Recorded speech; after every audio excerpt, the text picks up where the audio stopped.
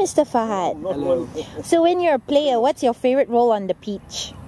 My favorite role, I was bowler all my life. I was a fast bowler, and uh, that was the role I always liked.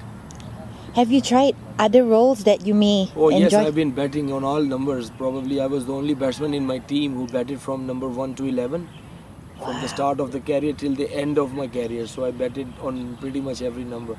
I'm a bowler who can bat. Ah, but you prefer bowling then.